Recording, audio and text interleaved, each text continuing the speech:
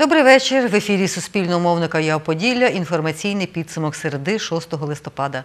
В студії ведуча Світлана Поробок на жестову мову перекладає диктор Ольга Рибак. Які події дня варто пригадати, дивіться далі.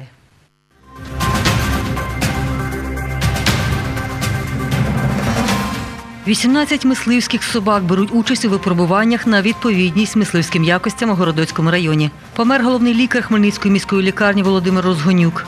Літературно-публіцистичну збірку, присвячену сотій річниці Проскурівського єврейського погрому, презентували сьогодні в Хмельницькому. 18 собак, англійських грейхаундів та російських псових хортів сьогодні складали мисливський іспит. На полях Городоцького району вони з господарями полювали на хутряного звіра, зайців та лисиць. Собак на випробування привезли з Києва, Одеси, Львова, Тернополя, Івано-Франківська і Чернівців. За професійні мисливські якості судді ставили хортам оцінки. Хто цього разу отримав високі бали, дивіться в сюжеті. Початок випробування мисливці і хорти, англійські та російські, на поготові. В нашій області, в принципі, це вперше. Вперше взагалі, тому що до 83-го року е, по закону бувшого Радянського Союзу е, таке полювання взагалі заборонялося, тому що воно вважалося, що це барська охота. Тепер лови з хортами дозволені. Без рушниць чи іншої зброї господарі з собаками йдуть рівним ланцюгом угіддями, щоб сполохати звіра. Мовою мисливців це рівняшка. Коли лисиця чи заєць вибігають зі сховку, мисливець відпускає на лови хорта. Собака, яка може розвинути швидкість 72 км 600 метрів за годину, має наздогнати та впіймати звіра. Така порода собак, при якій використов... мисливська зброя не використовується. Собака звіра повинна заловити. Ми даємо шанс рівний як собаці, так і звіру. Немає підранків при нашому полюванні. Так що то є таке саме гуманне, полювання. У правилах випробувань чималий перелік обмежень, за які учасників штрафують чи дискваліфіковують. Хтось пустив по чужому звіру. Якщо собака е, кидається на домашню скотину, ми знімаємо її з випробувань. Коли ведучий грубо порушує правила е, етики і поводження з тваринами, наприклад, б'є їх не- незаслужено і так далі. Не можна полювати і на молодих звірів. Заліковий заєць не менше 2,5 кілограмів. Власник титулованих хортів Дафі і Тріумфа з Чернівців Василь Крицук каже, це правило більше для людей, ніж для собак. Вони біжуть по любому звіру, треба ними управляти, щоб вони не бігли там, якщо помало. Ну то не, не можеш вгадати, чи там малий звір, чи великий заяць, якщо вибіже. За перших чотири години випробувань мисливці змінили два поля біля пільного Олексинця і не побачили жодного зайця. Учасник з Одеси, мисливець з 30-річним стажем Микола Кофов каже, хутряних звірів поменшало в Україні. пока зайдет пшеница. Доки зійде пшениця другого урожаю, до 15 разів вносять всякі добрива, хімікати. Трактори з широкими колесами захватом до 16 метрів. Переломлюють зайців, давлять, плюс машини їздять. Менше зайців і через спалення стерні, як от на цьому полі. Якщо звірі не гинуть під час пожежі, то не скоро повертаються на такі угіддя. Микола Кофов каже, треба відновлювати популяцію хутрових. Прикладувати какой-то труд. Треба для цього працювати, а в нас звикли тільки отримувати, а не вкладати. Плачевно.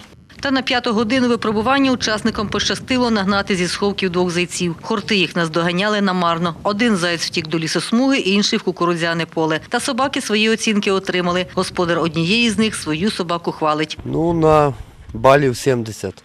Хотілося лучше би, але вийшло, що вийшло. Випробування триватимуть і в четвер, після чого судді визначать кращих. Світлана Поробок, Іван Мовчан. Новини на Суспільному. Хмельниччина. Слідчі відкрили кримінальне провадження за фактом смерті чотирирічного хлопчика в одній із центральних районних лікарень області. Про це розповіла начальник сектору комунікації головного управління Нацполіції в області Інна Глега. Слідчі слідчого управління головного управління національної поліції в Хмельницькій області відкрили кримінальне провадження за фактом смерті чотирирічного хлопчика у одній з районних лікарень.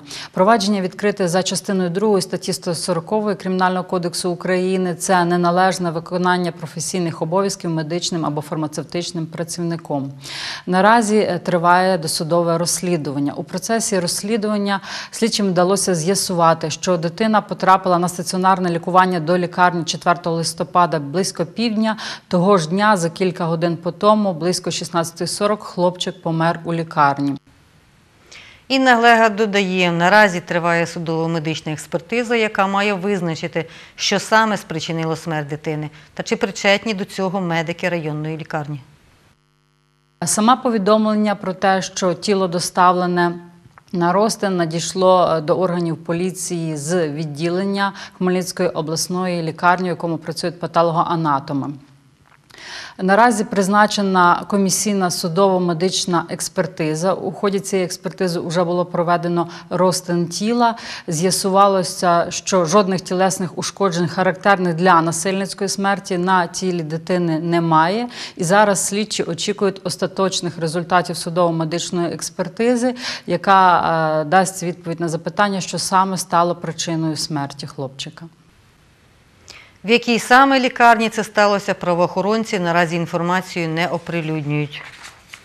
Помер головний лікар Хмельницької міської лікарні Володимир Розгонюк. Про це повідомив начальник департаменту охорони здоров'я Хмельницької міської ради Борис Ткач.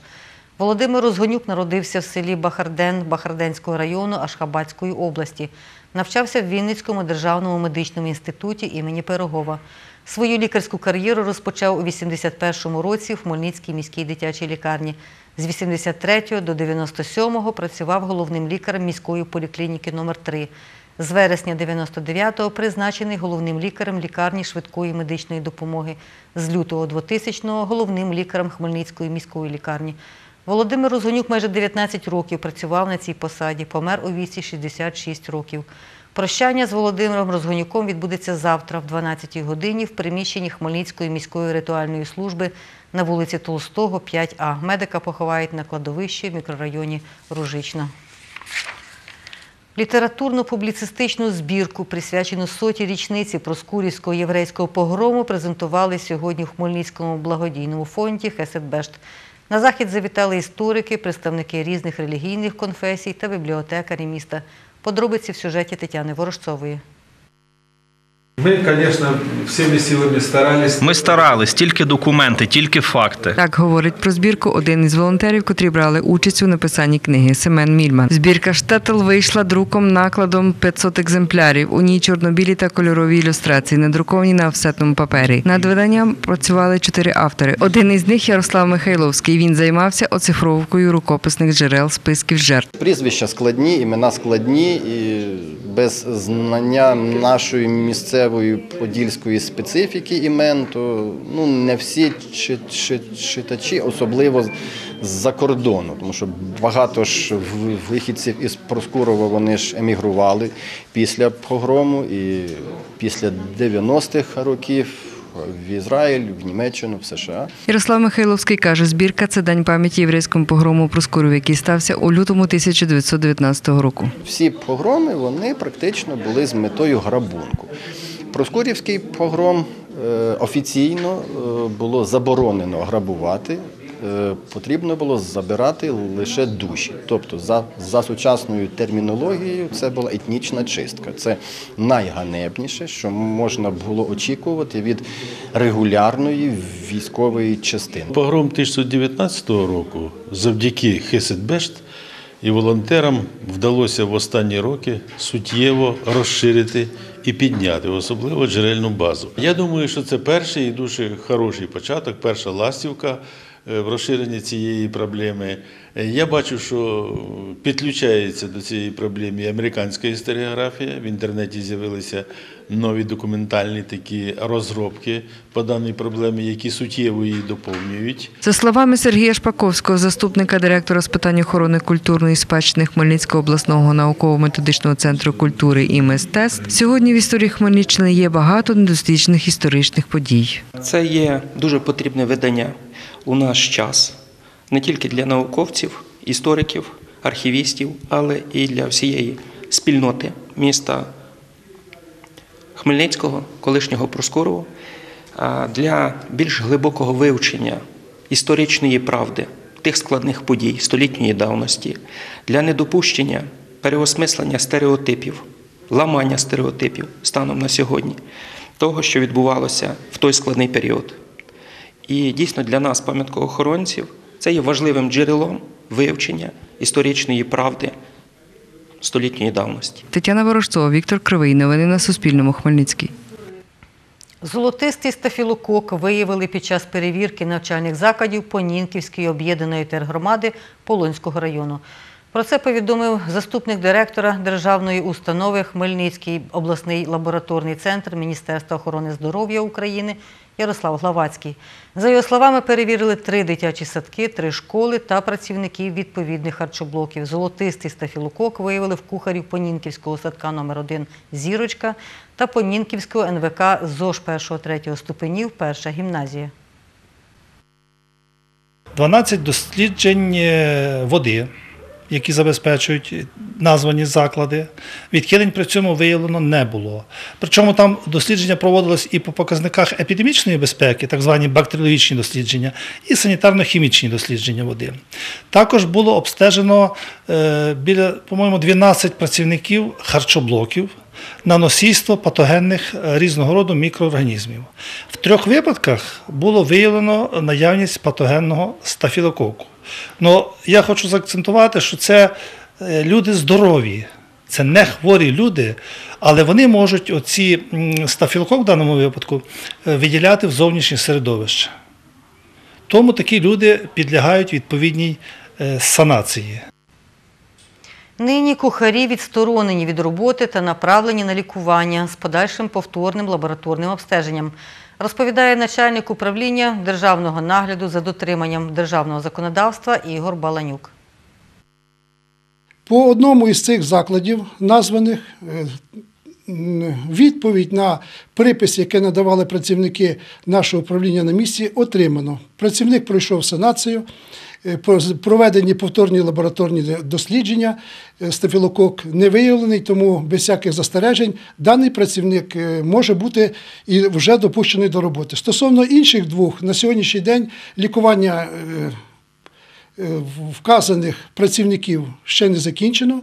Чекаємо, після цього буде знову ж таки, е, надіємося, направлена нам інформація про повторне їх обстеження і буде вирішуватись питання про продовження їх роботи. Якщо ж е, е, проведене лікування не дасть результатів, то воно буде продовжено до повністю відсутності даного збубника, тобто стафілокока золотистого в організмі працівників. Навчальні заклади ж працюють у звичному режимі. Ніхто з дітей чи працівників садка та школи за допомогою до лікарів не звертався. У городку поліцейські з'ясовують обставини дорожньо-транспортної пригоди, в якій травмувався 54-річний пішохід. Про це розповіла начальник сектору комунікації головного управління Нацполіції області Інна Глега. За її словами, дорожньо-транспортна пригода сталася вчора, 5 листопада, о 18.10 на вулиці Шевченка в городку. Інна Глега додає, 55-річний житель Городоцького району, рухаючись на автомобілі Mitsubishi Lancer, наїхав на 54-річного місцевого жителя, який переходив дорогу в невстановленому місці. За даним фактом, працівники поліції відкрили кримінальне провадження за частиною 2 статті 286 Кримінального кодексу України порушення правил безпеки дорожнього руху або експлуатації транспорту особами, які керують транспортними засобами. Завтра та 8 листопада вода в криницях Шепетівки буде непридатною до вживання. Про це кореспонденту Суспільного розповіла прес-секретар Шепетівської міської ради Наталія Драпуля. Пов'язано це із профілактичним знезараженням криниць. Це планове хлорування води, додає Наталія Драпуля, і закликає жителів Шепетівки утриматися від споживання води у ці дні. Команда Хмельницького політехнічного коледжу перемогла в щорічній міській спартакіаді з настільного тенісу серед вищих навчальних закладів першого-другого рівнів акредитації. Про це повідомив головний суддя змагань Петро Старцун. За його словами, команда Хмельницького базового медичного коледжу посіла друге місце. Бронзовими призерами стала команда Хмельницького музичного коледжу імені Владислава Заремби. Петро Старцун додає, у щорічній міській спартакіаді з настільного тенісу взяли участь п'ять навчальних закладів. тільки технікуми і коледжі.